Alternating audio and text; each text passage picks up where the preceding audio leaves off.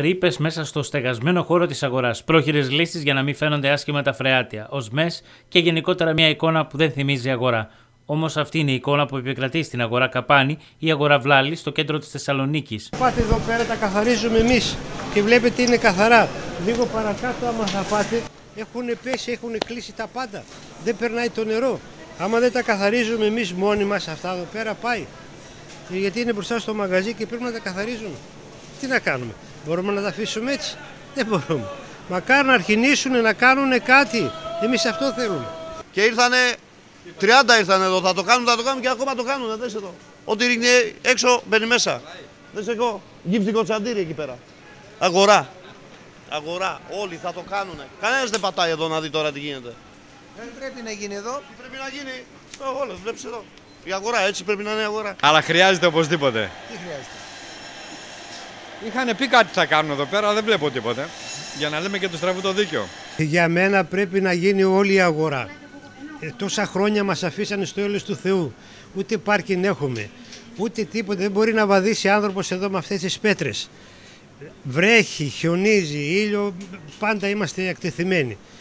Σκοπός είναι να αρχινήσουν να κάνουν την αγορά λιγάκι εξωπρεπής, να μπορεί να, και εμείς σαν άνθρωποι εδώ πέρα που δουλεύουμε να είμαστε εντάξει και ο κόσμος που έρχεται να ψουνίσει, να γίνει το σκέπαστρο, να γίνουν οι δρόμοι. Χρειαζόμαστε παρεμβάσεις και για τα όμβρια έχουν βάλει λεπτούς σωλήνες όταν κατασκεύασαν το σκέπαστρο επάνω, όπως επίσης το σκέπαστρο μετά από το 78 χρειάζεται συντήρηση.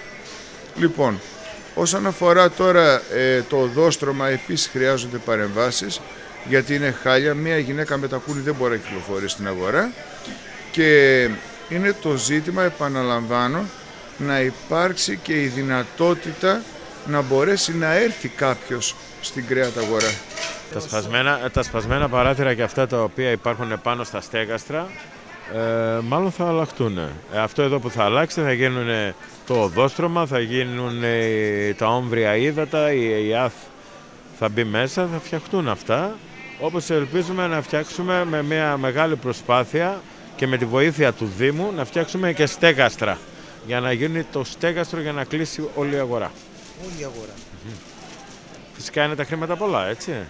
Αλλά ελπίζουμε να βρούμε και από πόρους και από την περιφέρεια και από το Δήμο και να τα κάνουμε. Από την πλευρά του Δήμου θα γίνει αντικατάσταση διαπεδοστρώσεων, ενώ θα κατασκευαστεί και ένα μεγάλο τμήμα του στεγάστρου στην οδό Σολομού, εμβαδού άνω των 800 τετραγωνικών μέτρων. Πρόκειται επίσης να ανακατασκευαστούν οι δημοτικές τοαλέτε, ενώ τα έργα στα αποχετευτικά δίκτυα και στα δίκτυα ίδρυυσης θα γίνουν σε συνεννόηση με την ΕΙΑΘ.